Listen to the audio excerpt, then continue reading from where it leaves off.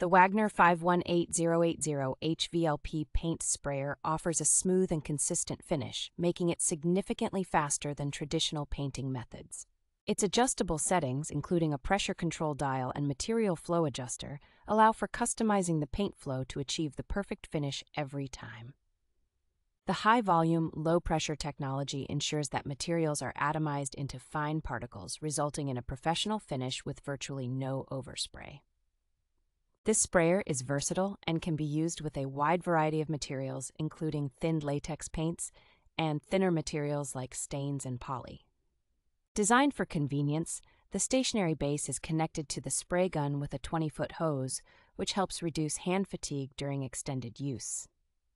The package includes both a one and a half quart plastic cup and a professional grade one quart metal cup, adding to its overall functionality and value.